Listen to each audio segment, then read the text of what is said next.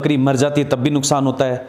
और बकरी नहीं मरी, वज़न नहीं बढ़ रहा है तो भी नुकसान। वो वज़न का पैसा आप घर लाके बारह महीने में नहीं बढ़ा पाओगे। तो आपने खरीदते समय वो नुकसान कर घर आके वो इंजेक्शन लगा दिए, खुश हो गए, मेरी बकरी बच गई। फिड़किया नहीं होगा।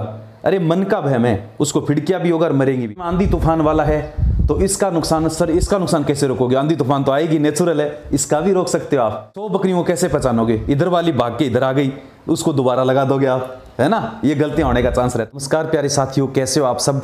आज अपने शुरू करने जा रहे हैं बकरी फार्म की ऑनलाइन ट्रेनिंग कि बकरियों को कैसे रखना चाहिए, वैज्ञानिक तरीका क्या होना चाहिए बकरियों का? जो पहले फार्मर होते थे, वो ज़्यादातर गैर वैज्ञानिक तरीके से बकरियाँ पालते थे तो उसमें नुकसान होने का ज़्यादा डर रहता था। लेकिन आज का युग है वो वैज्ञानिक तरीके से बकरी पालन और कृषि पालन करने का है। सबसे ज़्यादा कौन कौन सी गलतियाँ करते हो जिससे बकरी पालन में अपने को नुकसान होता है? और उन गलतियों को हम कैसे दूर करें, वो सभी पॉइंट इसमें मैं शामिल करूँगा। सबसे पहले बात करें तो बकरी पालन ही क्यों हो? सवाल एक बार फिर सुन लीजिए कि बकरी पालन ही क्यों चुने हम? कोई अन्य पशुपालन क्यों ना चुने? तो बकरी पालन चुनने का हमारे, इसके पीछे बहुत बड़ा एक रीज़न है। मैं मोटा मोटे आठ कारण आपको बताऊँगा। उन कारणों की वजह से आप देखेंगे कि इसी वजह से लोग बकरी पालन करते हैं। क्या क्या कारण है वो मैं सबसे पहले आपको बताऊँगा। सबसे पहला है गरीब की गाय। देखो गाय है, वह मूलतः गाय, भैंस बहुत महँगी आती है तो गरीब के लिए ये गाय से भी बढ़कर है। गरीब की गाय नहीं, गाय से बढ़कर है। क्योंकि जो घरा, जैसे अपने बोलते हैं, दूध वगैरह के लिए गरीब आदमी वो गाय, भैंस नहीं रख सकता, वो बकरी रख सकता है तो गरीब की तो ये गाय हो गई, है ना? दूसरी बात इसमें चलता फिरता फरीज। अब अपने को दूध है, गाय, भैंस का वो दो दो वक्त निकालते हैं अपने। सुबह निकाल लिया, शाम को निकाल लिया। बीच में दूध की ज़रूरत पड़ गई तो गाय तो नहीं देगी, भैंस भी नहीं देगी, लेकिन बकरी का दूध हम 24 फोर आवर से कभी भी निकाल सकते हैं। तो ये फ्रीज से कम थोड़ी है। फ्रीज ही हो गया। जैसे फ्रीज में अपने दूध रखते हैं एनी टाइम कभी भी निकाल लो, रखा हुआ। वैसे ही ये ऑटोमेटिकली नेचुरल फ्रीज है। ठीक है?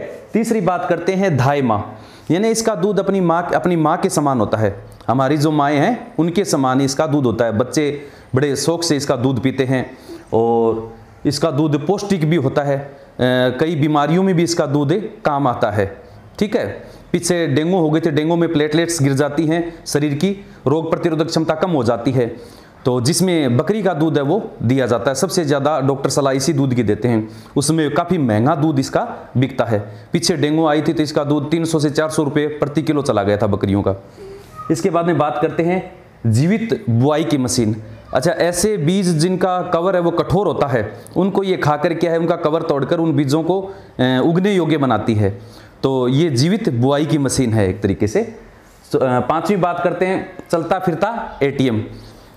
एटीएम से क्या है हम कभी भी पैसे निकाल लेते हैं। निकाल लेते हैं ना तो एटीएम से हम समझ जाएँगे कि बकरी को जैसे पैसे की कभी भी ज़रूरत पड़ गई तो बकरी को बेच के आप कभी भी, कहीं भी बेच के आप उसके पैसे ले सकते हो। तो ये एटीएम जैसा हो गया। चलता फिरता एटीएम ही आपके लिए। ठीक है? चलती फिरती मांस की मंडी। चलती फिरती मांस की मंडी है। आप कहीं घुमाने लेके जा रहे हो, खेत में, रस्ते में कोई मिल गया कि अब, आप अपना बकरा कितने में बेच रहे हो तो तुरंत रस्ते में ले जाएगा। तो चलती फिरती मांस की मंडी है और आपको भी पता है कि भारत में सबसे ज़्यादा जो बकरी पालन है, वो मांस के लिए किया जाता है। दूध इतना ज़्यादा नहीं होता, कोई एक दो नस्ल ऐसी है जिसमें दूध ज़्यादा होता है। बाकी लगभग नस्लें वो मांस उत्पादन के लिए ही पाली जाती हैं। इसके बाद में बात करते हैं खरपतवार नियंत्रक। तो इसकी प्राकृतिक जो बनावट है बकरी की, इसकी जो खुराक है, चारा है, वो ऐसा होता है कि अन्य पशु जिस चीज़ को नहीं खाते हैं बकरी उस चीज़ को खा जाती है, आसानी से अपना चारे के रूप में यूज़ कर लेती है। जो खरपतवार फ़सलों में जो बिना अपने काम की चीज़ें जो उगती हैं फ़सलों के साथ में, उनको खरपतवार बोलते हैं और उनको ये खा खा जाती है तो खरपतवार नियंत्रक हो गई है, उसका नियंत्रण करती है। इसके बाद में भविष्य का पशु। तो भविष्य का पशु अपने आप हो गया, देख लो हम पास्ट की बात करें तो धीरे धीरे कोई भी पशु हो, उसकी डिमांड कम होती जाएगी, लोगों का शौक कम होता जाएगा। और आप देख रहे हो, आपके बचपन से अब तक बकरियों का कितना ट्रेंड आ गया है। और आज का युग भविष्य, आप भविष्य में फ्यूचर में सोच के देखिए कि बकरियों का कितना बड़ा मार्केट होगा और कितना इसका फ्यूचर होगा। क्यों? इसको रखना भी आसान है, इसका खान पान भी सस्ता है और ये प्राकृतिक विषमताओं में बहुत हर्ड कंडीशन में भी ये आसानी से रह जाती है। तो इसके काफ़ी ज़्यादा बेनिफिट हैं, उसी की वजह से इसको फ्यूचर एनिमल भी बोलते हैं, भविष्य का पशु। तो इस सवाल का जवाब आपको मिल गया होगा कि हम बकरी ही क्यों पालें? ये आठ कारण हैं, इनकी वजह से हमें बकरियों को पालना बहुत ज़रूरी है। टोटल बकरी की दोस्तों, चौंतीस नस्ल होती हैं वैसे तो। 34 नस्ल बकरियों की पाई जाती हैं। लेकिन हमें ज़्यादातर जो इंडिया में जो नस्लें पाई जाती हैं, जो ज़्यादातर पाली जाती हैं, वो 12 नस्लें बकरियों की पाली जाती है। तो इस वीडियो में हमें पूरी चर्चा करेंगे। नस्ल के बारे में बताएँगे, कौन सी नस्ल कितना दूध देती है और कितना मांस उत्पादन करती है, और उसका रेट है वो लगभग कितना होता है।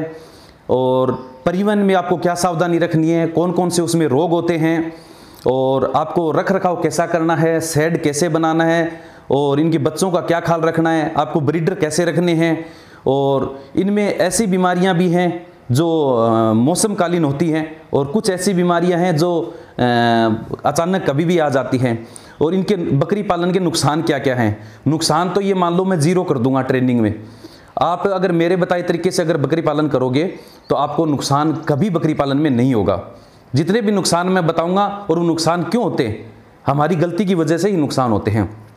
वो भी अपने इस वीडियो में पूरा विस्तार से चर्चा करेंगे दोस्तों। सबसे पहले आपके नुकसान की टेंशन खत्म करते हैं। कोई भी बिज़नेस करने से पहले हम ये सोचते हैं कि उसमें नुकसान क्या क्या हो सकता है। आप कोई भी बिज़नेस करो, सबसे पहले उसके नुकसान की लिस्ट बनाओ, कि इसमें हानि क्या क्या हो सकती है, लॉस क्या क्या हो सकता है। और उन लॉस को आप दूर कैसे कर सकते हो? देखो, हर लॉस दूर हो सकता है, हर नुकसान है, हानि है, उससे आप बच सकते हो। जबकि आपको उसका नॉलेज होना ज़रूरी है। तो सबसे पहले अपने नुकसान की बात करते हैं। मोटा मोटे इसमें चार नुकसान होते हैं बकरी पालन में। पहला नुकसान अपना होता है इसमें मरना। बकरी सबसे ज़्यादा नुकसान ये होता है। अब सर, मर, मरने पर तो नुकसान होता है, और क्या नुकसान हो सकता है? नहीं, चार नुकसान हो सकते हैं। बकरी मर जाती है, तब भी नुकसान होता है।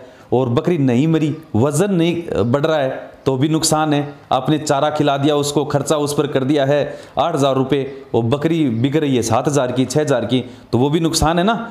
मैं बताऊँगा, वज़न कैसे नहीं बढ़ता, क्या कमी उसमें? तीसरा, आपने नस्ल, अगर आपने नस्ल का गलत चुनाव कर लिया है तो भी आपका नुकसान है, ठीक है? नस्ल का नुकसान 50 परसेंट मार्जिन आपका कम कर देता है।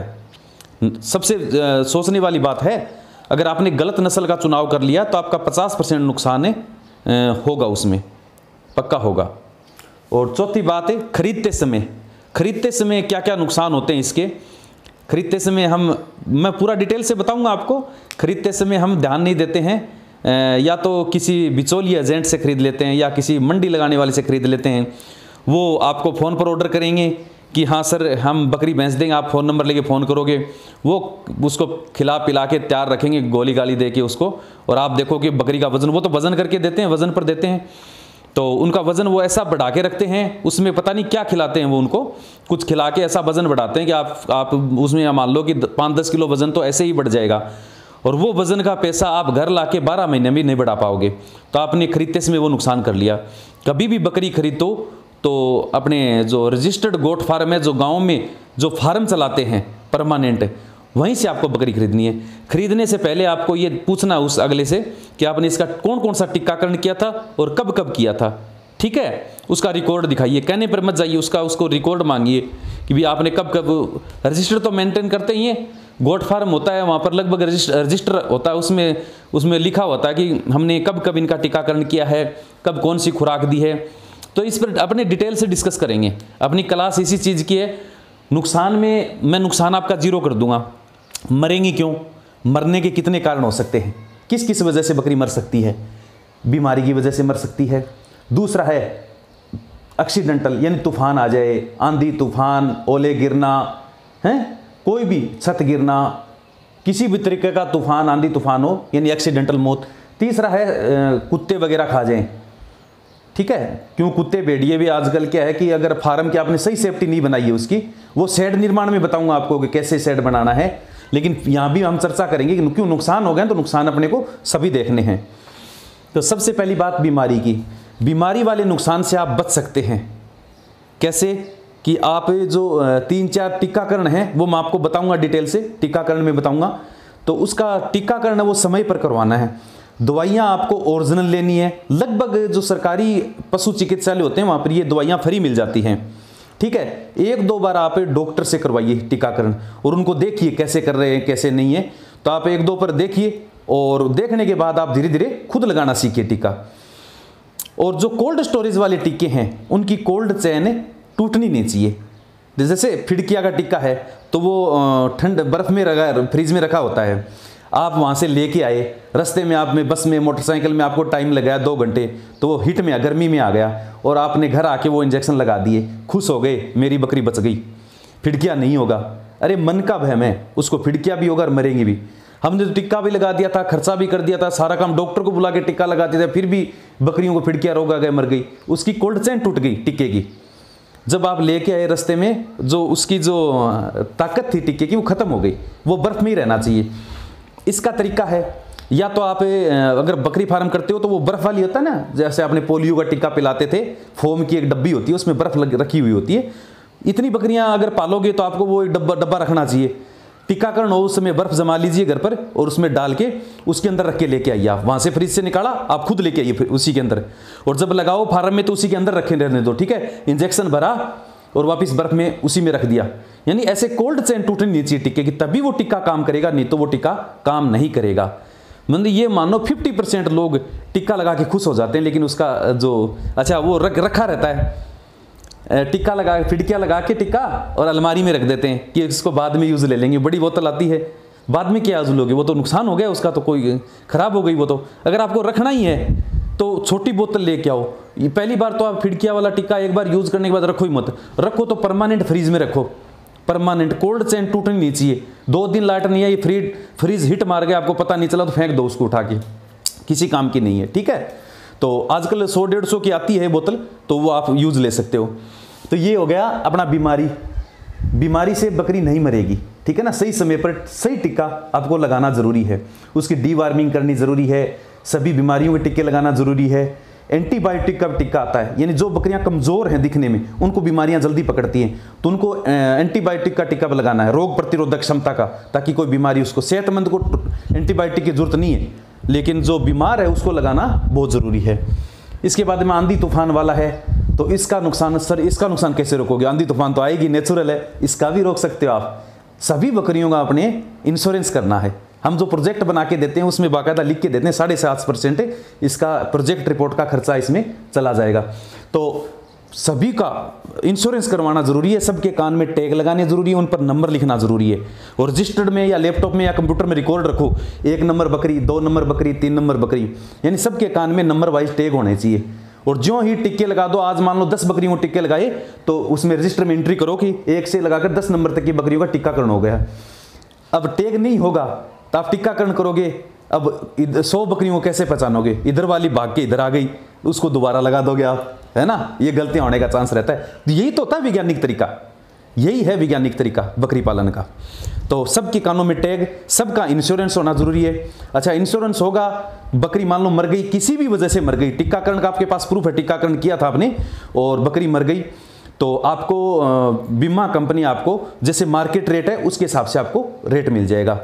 ठीक है, आपको तुरंत बीमा कंपनी को फ़ोन करना, मेरी बकरी मर गई है। तो वो या तो डॉक्टर भेजेंगे, उसकी पचास सौ, दो सौ रुपये की फ़ीस होती है, पोस्टमार्टम करेगा, डॉक्टर देख लेगा भैया किस वजह से मरी है, वो रिपोर्ट बना देगा। वो पोस्टमार्टम रिपोर्ट एक फॉर्म और आपकी बीमा पॉलिसी है वो, तीनों आप कंपनी को सबमिट कर दो। विद इन पंद्रह से बीस मिनट लास्ट एक महीने में आप उस बकरी का पेमेंट आ जाएगा। तो ये नुकसान खत्म अपना। ये नुकसान अपना खत्म। टीकाकरण वाला। समझ में आ गए ना? तूफ़ान, आंधी तूफ़ान, किसी भी तरीके का तूफ़ान हो कैसे भी मर जाए तो इंश्योरेंस मिल जाएगा उसका। इंश्योरेंस होना बहुत ज़रूरी है। शिकार तो शिकार वाला तो मैनुअल अपनी गलती से ही होता है। हम बाड़े को थोड़ा नीचे रख देते हैं। तो अच्छा सीधा भी जाली लगा के आप मत बनाओ नीचे ज़मीन में। पहले दीवार निकालो तीन चार फुट की। उसके ऊपर इंगल लगा के फिर जालियाँ बांधो आप। कुत्ते नीचे से खुद के भी घुस जाते हैं अंदर। तो सबसे ज़्यादा ध्यान रखना। और साइड में भी अगर आप खिड़कियाँ जंगले लगाओ ना तो उनको भी मजबूती से बनाना है। ऐसी जालियाँ लगानी है, कोई तोड़ नहीं सके उसको। ठीक है ना? बकरियाँ भी कूद के न तोड़ सके, बाहर से भी कोई जानवर उसको न तोड़ सके। और बाहर का बाड़ा है, उसको ऐसे पैक करो कि लास्ट में एक सिंगल गेट रहे और गेट भी कैसा रहे, उसके वो स्प्रिंग लगाना है। खोलें, छोड़ के अंदर गए तो वापस बंद हो जाए। उसके अंदर बिल्ली न घुसे, क्योंकि छोटे बच्चे हैं, बिल्ली, कुत्ते, उनको सब नुकसान पहुँचा सकते हैं। तो ये शिकार वाला है ये बहुत बड़ा मुद्दा है। ध्यान रखना आप। आप पाँच मिनट के लिए कहीं काम गए और गेट ओपन रह गया, बार वाला, बिल्ली कुत्ते अंदर घुस गए, छोटे बच्चों को मार दिया तो ये नुकसान होता है ना शिकार वाला। तो अपने वो गेट मेन गेट स्प्रिंग वाला लगाना है। और जो शेड के अंदर या बाड़े का बना रहे हो तो उसमें सीधा ज़मीन पर आपको तार नहीं लगाने हैं, जालियाँ नहीं लगानी है। पहले तीन फीट की दीवार, फिर उन पर इंगल, और उस पर जालियाँ बाँध दो आप चार पाँच फुट की। तो सात आठ फुट ऊपर हो गई आपकी हाइट उसमें से न कुत्ता जाएगा, न बिल्ली जाएगा। लगभग नहीं जाएँगे इतने। बाकी देखो, बिल्लियों के लिए तो वो कहीं भी चढ़ के आ जाती हैं। बिल्ली का इतना ज़्यादा नुकसान नहीं है जितना कुत्ते का होता है। ठीक है? तो ये तीनों चीज़ें आपको समझ में आ गई अब इन, ये तीनों नुकसान आप ज़ीरो कर सकते हो, इतनी बातें सुनने के बाद। पक्का कर सकते हो, मेरे को पता है। ठीक है ना?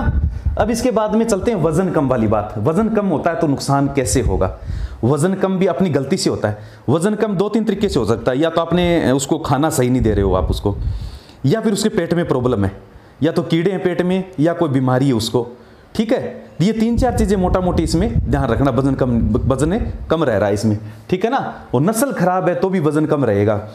देखो, वही खुराक हमें इनको सिरोई सोजत है, इनको अगर वही खुराक देंगे और वही खुराक अपने देसी को देंगे तो सिरोई सोजत है, वो काफ़ी डबल हो जाएँगे और वो वहीं रह जाएँगे। तो नस्ल का चुनाव है, वो वज़न बढ़ाने में सबसे ज़्यादा इंपॉर्टेंट है। नस्ल के बाद में नंबर आता है खान पान का। आप उनको सही प्रोटीन दे रहे हो नहीं रहे हो, सुख चारा है। अब देखो सड़ा गला खाना हम भी नहीं खाते। तो हम कहीं से भी जैसे वो होता है ना, फफूंद लगा हुआ चारा ले आए, बकरियों को खिला रहे हैं, कभी मत करना ऐसा। जैसे अपने खाने का ध्यान रखते हैं, वैसे ही बकरियों के खाने का ध्यान रखना है। ठीक है ना? उनको अपने दिल से ज़्यादा, अपने बच्चों की तरह उनको प्यार करना है, खाना खिलाते वक्त। ठीक है ना? तो आपको जहाँ पे सूखा चारा रखते हो, उसके नीचे प्लास्टिक की पन्नी, ज़मीन के मिट्टी पर टच ना हो, वो बढ़िया चारा ढूंढ के लेके आओ, चाहे दस रुपये वो ज़्यादा ले। वो आप सस्ते के चक्कर में ख़राब ले आओगे तो बकरियाँ छोड़ देंगी वो। वो आपका ख़राब होकर चला जाएगा, वो महँगे जितना ही पड़ गया। पड़ गया ना महँगा? रेट तो उसका उतना ही पड़ गया, लेकिन आपकी बकरियाँ भी वज़न में कम रह जाएँगे तो वो डबल नुकसान होगा, अगर आप खराब चारा लेके आओगे तो। प्लस अहरा चारा भी साथ में अगर एक टाइम आप दे सको तो उसका मैं इस, इसमें आगे ज़िक्र करूँगा मैं कि अहरा चारा आप कम से कम कीमत में, कम से कम जगह में कैसी भी जगह हो आपकी, कैसा भी पानी हो, एक बार आपने वो चारा लगा दिया, आठ से दस साल आपको दोबारा लगाने की ज़रूरत नहीं है। खारा पानी है, कोई दिक्कत नहीं। इतना बड़ा सेड कर रहे हो, एक बार ड्रिप बिछा के आप छोड़ दो और पानी मोटर से अपने आप लगता रहेगा। जो भी आपको खाद पानी देना है, उसी में डाल दो आप। और पानी कम से कम पानी की ज़रूरत है, दस बारह फुट ऊँचा चारा जाएगा। बहुत सारे हैं। नेपीर के बारे में भी चर्चा करेंगे अपने। और ये जॉइंट किंग घास है, थाईवान का, वो उसके बाद ज़िक्र करेंगे अपने। तो उन सब के आगे हम ज़िक्र करेंगे खान पान में, ठीक है? तो ये बात होगी खान पान की, और बीमारी की वजह से भी वज़न कम रह जाता है अभी। ठीक है ना? डी वार्मिंग करना बहुत ज़रूरी कीड़ों की दवाई देना बहुत ज़रूरी है। कीड़ों की दवाई भी दो प्रकार की होती है। एक दवाई ऐसी मेडिसिन ऐसी होती है जो हमें प्रेग्नेंट बकरियों को नहीं दे सकते। ठीक है ना? हम बिना पूछे लिया है कि हमें डी वार्मिंग की दवाई दे दो, उठा के दे दिया, आपने ला के प्रेगनेंट बकरियों को दे दिया। अबोर्सन हो जाएगा उनका। तो मैं आपको इन, जो टीकाकरण वाला पार्ट है, उसमें बताऊँगा कि आपको कौन सी दवाई है वो प्रेग्नेंट बकरियों को नहीं देनी और कौन सी सबको दे सकते हो, ठीक है? नस्ल खराब नस्ल खराब का मैंने बता दिया कि खराब नस्ल सुनोगे तो वो वेट कम बढ़ेगा उनका, ठीक है? मैं अपने बात करते हैं नस्ल की। मैंने वैसे तो बताई थी कि टोटल बकरियों की चौंतीस नस्ल होती है थर्टी फोर नस्ल, ठीक है? लेकिन अपने यहाँ पर इंडिया में लगभग दस, बारह बारह नस्ल ऐसी हैं जो आमतौर पर पाली जाती है। अब देखो, कोई भी एक गाँव में, एक ज़िले में, एक जगह पर कोई पाली जाती है तो उसका कोई यहाँ बयान करना ज़रूरी नहीं है। लेकिन जो कॉमन नस्ल हैं, जिनको लगभग लोग इंडिया में पालते हैं उन नस्लों की जानकारी अपने को देना बहुत ज़रूरी है। और उनकी आप, अब मैं एक की दे दूँगा तो पता नहीं कोई बंगाल वाला कौन सी पाल सकता है। बिहार में कोई, बिहार में ज़्यादातर ये ब्लैक बंगाल है, ये ज़्यादा पाली जाती है, ठीक है ना? और राजस्थान में सिरोही सोजत वाली पाली जाती है, पंजाब में बिटल नस्ल ज़्यादा पाली जाती है तो लगभग नस्ल की जानकारी मैं आपको दे दूँगा कि आपको कौन सी नस्ल, आपको बकरियाँ अपने क्षेत्र के अनुसार देखकर लानी है। ठीक है ना? क्लाइमेट लगभग बकरियों का सेम सा होता है। कुछ बकरियाँ ऐसी होती हैं जो क्लाइमेट चेंज होने पर उनको में नुकसान हो सकता है। लेकिन ज़्यादातर बकरियाँ हैं वो सूटेबल होती हैं। लेकिन आपको ये देखना कि हमारे यहाँ पर मार्केट किस प्रकार का है। ठीक है, हमारे यहाँ बड़े बकरों का मार्केट है, या हमारे यहाँ छोटे क्रेडिट पावर भी तो होनी चाहिए लोगों की। हमने बकरे पाल लिए सत्तर अस्सी किलो के, और लोग वहाँ पसंद करते हैं पच्चीस तीस किलो के बकरे। तो आप सत्तर अस्सी किलो के बकरे पाल कर वहाँ क्या करोगे? एक एरिया ऐसा है जहाँ पर ज़्यादातर मैक्सिमम बड़े बकरे बिकते हैं, और हम नस्ल है छोटी। तो उन छोटे बकरे पसंद नहीं करेंगे। तो अपने को डिमांड भी देखनी है। उसके हिसाब से बकरियाँ लेके आनी है। एनएलएम में आपके पास खूब छूट है कि आप बकरियाँ कैसी रखना चाहते हो, लेकिन वो अपने को बहुत सोच समझ के चुनाव करनी है उन बकरियों को। ठीक है ना? सबसे पहली नस्ल अपनी है सिरोई नस्ल। सिरोई है, राजस्थान में है। ठीक है ना? माउंट आबू का नाम सुना होगा आपने? वो सिरोई में ही है। ये राजस्थान का एक जिला है। और उसी के यहाँ पर ज़्यादा बकरियाँ, ये सिरोई नस्ल की बकरी यहाँ ज़्यादा पाई जाती है, इसलिए उसको डिस्ट्रिक्ट के नाम पर सिरोई नाम दे दिया है। ठीक है ना? इसकी कीमत होती है पच्चीस से तीस हज़ार रुपये इसकी कीमत होती है। ठीक है? एकदम मेच्योर जो बकरी होती है, उसकी कीमत पच्चीस से तीस हज़ार रुपये होती है। ठीक है? इसको मीट और दूध के लिए पाला जाता है। ज़्यादातर इस, क्योंकि ये इसका वज़न ज़्यादा होता है। पचास से पिचपन किलो का वज़न इसमें बकरा है, वो हायर कर लेता है। पचास से पिचपन किलो का बकरा सिरोई नस्ल वाला। ठीक है? तो ये स्पेशल मीट के लिए पाला जाता है। दूध भी देता है दूध भी इस, इसमें बकरियों में अच्छा होता है दूध के लिए भी इसको पालते हैं लेकिन ज़्यादातर इसको मीट के लिए पालते हैं। दूध तीन लीटर पर डे का दूध होता है इसमें। तीन लीटर पर डे का होता है। अब मैं प्रजनन वाले पार्ट में बताऊँगा आपको कि आप बच्चों मतलब बकरी है वो एक बच्चा क्यों लेके आती है दो बच्चे क्यों लेके आती है तीन बच्चे क्यों लेके आती है और हम उसको कैसे बढ़ा सकते हैं? एक बच्चा देने वाली बकरी को दो बच्चे कैसे मतलब उसमें प्राप्त कर सकते हैं अपने? उसका भी एक साइंटिफिक तरीका है मैं बताऊँगा आपको पूरा उसमें सिस्टम में। तो तीन लीटर पर डे इसका दूध है, मांस भी इसमें पचास से पिचपन के जी मांस। यानी ये बेस्ट बढ़िया नस्ल है। महँगी होती है, लेकिन जो बढ़िया नस्ल जो होती है, वो बढ़िया नस्ल में आती है। ठीक है? ये होगी अपनी सिरोई नस्ल। इसके बाद में दो नंबर पर अपनी मारवाड़ी नस्ल। मारवाड़ भी राजस्थान में राजस्थान के पार्ट को ये जो जैसलमेर, जोधपुर, बाड़मेर, ये जो एरिया है ना मेन जोधपुर का एरिया उसको मारवाड़ बोलते हैं। ये लगभग ये ब्लैक कलर की होती है मारवाड़ी बकरी और छोटे कान होते हैं इसके, कान छोटे होते हैं और बाल इसके बड़े होते हैं पूरे शरीर पर। इसको बालों के लिए भी पाला जाता है, इस बकरी के बाल भी यूज़ कमाई होती है, बाल से भी बिकते हैं। इसका मीट भी बिकता है और इसका दूध भी बिकता है। कीमत इसकी ज़्यादा नहीं होती है मारवाड़ी नस्ल की तो ये ज़्यादा बिज़नेस वाले क्षेत्र में नहीं आती है। इसके बाद में बात करें तो तीन नंबर अपनी जखराना नस्ल, ये भी लगभग राजस्थान में ज़्यादा पाली जाती है।